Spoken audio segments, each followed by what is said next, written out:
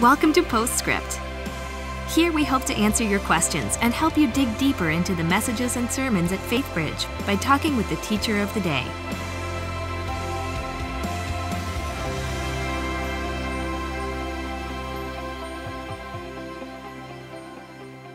Hi, and welcome to Postscript. I'm Luann Riley, Grow Group and Discipleship Director, and I'm here with Pastor Ben Stuart, Bible teacher, who just brought us a message about singleness. Welcome, Ben. Thank you. So good to have you back. Good to be here. Yeah, it's awesome. And so you have a new book coming out, and yeah. we are getting uh, some of your information from there, your singleness, and next week we're going to talk about marriage. Yeah. Um, and so whenever you talk about singleness, questions are always come up. Just Okay, like I'm sure, we'll have some next week about marriage. Uh, but let me jump yeah. into one here.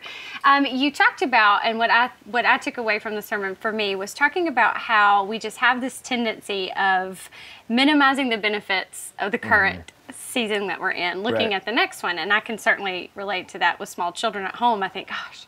They Yeah. grow up and I have all I this can't time. wait till- yes. I can't wait till, yeah. Um, and so uh, one of the questions that came around that was kind of questioning this benefit of singleness. Mm-hmm. Um, the one who wrote in, their dad is a single dad, but Mm-hmm. he has four kids, and he is working 14 hours a day. So he is a, he is single in the sense Mm-hmm. that we're talking about in terms um, of today, but a single dad, which is Yeah. a unique season as Yeah. Mm-hmm. well. Um, Can you talk to me about um, that season? What advice you would have for him? And you said um, like four kids in the home. four kids. Yeah. Mm-hmm. Well, I mean, that's your calling. Mm-hmm. Yeah. You know, and there are.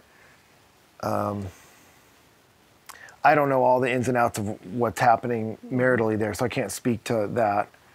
But um, if you're in a situation, either dad or mom, where you're raising children alone, that will be your primary mission field mm-hmm. and ministry zone and that is not something to feel guilty about. And yeah a mm-hmm. lot of this sermon doesn't didn't necessarily aim at that zone and that was mm-hmm. kind of what i was trying to say at the beginning of going this isn't going to hit a lot of the of people's situations.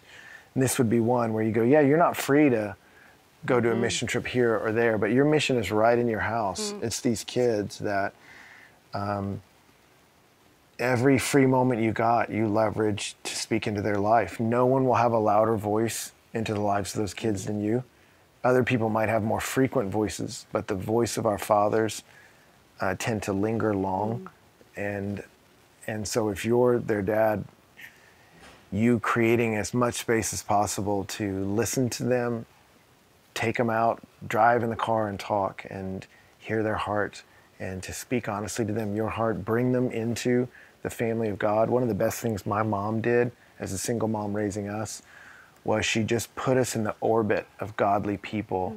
And as I look back on my life, there were there was not like some guy like my mom never remarried, but there were different men at different seasons of my life that um, took us fishing, started a Bible study with me and my friends, took me on a mission trip, mentored me, took me to a father son camp. You know, there were different men that filled that role, and that's what the church does. The body of Christ, we step into that.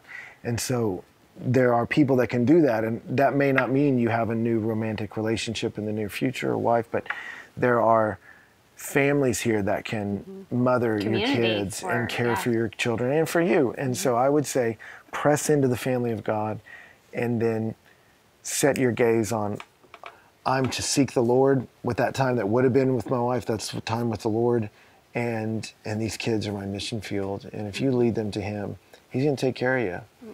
And uh, there's a lot more to say. Yeah, that and I love how you talked about the end about locking hands together, single, married, yeah, moving the mission of Jesus forward. That's why the church is here. It's why FaithBridge exists, is to come around families and singles and for all of us to um, Yeah. support each other. And so, Absolutely. yeah. Well, and I look back at you know the story I told of myself as a 20-something year old person, getting to really invest heavily in the lives of a lot of our students. Came, were in divorced homes, single-parent homes, and uh, I go, I didn't think of it this clearly till I got there. I'm like, this is what men did for me, and now I'm getting to do it for these kids. And I'd have these single parents come and we're so grateful and like I can't understand why you'd even do that. I'm like, well, a, an allegiance to the Lord leads you to people. It always does.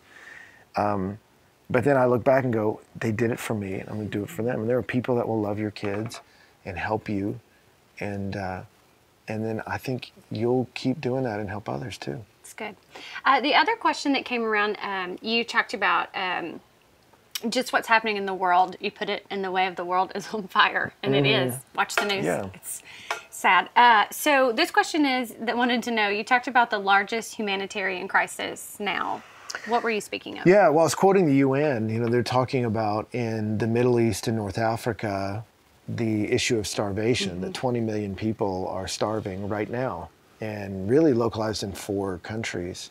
And some of it is, you know, issues with um, the weather, but most of it is issues with extremism mm-hmm. and people being forced to flee. Mm-hmm. A lot of them are Christians that are having to flee hostile areas, but a lot of them aren't Christians. They're just people that are in a war torn city and fleeing, and they don't get to pack up and flee. And so you've got millions of people that literally do not know where the next meal will come from.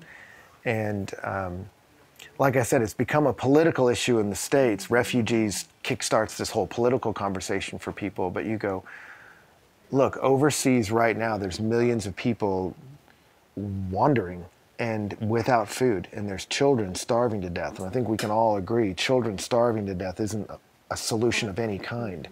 And so there's some amazing ministries and organizations all around the world that are first responding to come and help mm-hmm. people in need. And I just think if you can look at um, the hurts in the world, we, we, we have to be compelled there. Jesus moves among the poor and the hurting, and there's millions of them right now. So the UN speaking to it. There's a lot of ministries that you can get involved in that would point towards it. I'm sure FaithBridge is behind some of them. Yeah, we are. Yeah, and I would really encourage people to, to care and do something. That's good.